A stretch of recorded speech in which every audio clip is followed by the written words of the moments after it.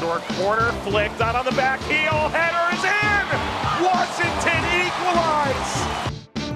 They drive this one near post, and this is a fantastic little flick from Sanchez to keep this ball alive. Times her header perfectly to get up and over and puts this ball right back where it came from in the upper 90, exactly the only place where Bixby wasn't.